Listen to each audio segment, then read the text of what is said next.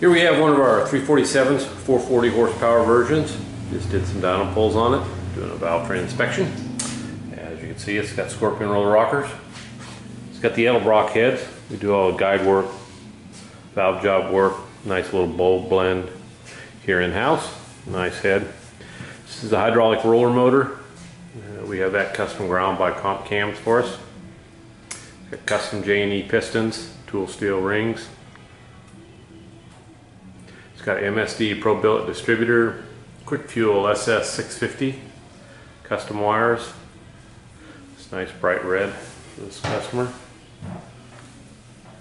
Naturally, when you receive your crate, be documentation in it of the build, specifications, oil clearances, torque specs, everything of that nature. You'll get the dyno sheets, tell you all the power readings, oil pressure, vacuum, O2 readings. Highly recommend installing an O2 in your vehicle to tune it up for your air cleaner, exhaust, things that nature.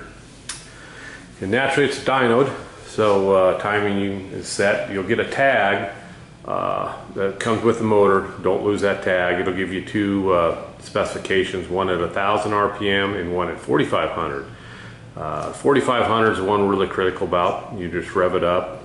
That'll be full advance. Typically it's 32 degrees, but look at your tag. When it comes back to 1000 RPM, it'll kind of give you an RPM that should be. Naturally, it's in the curve, so it's going to bounce around a bit there. So definitely check it when you fire up. You never know if it's moved or whatever that might be. So don't lose that tag.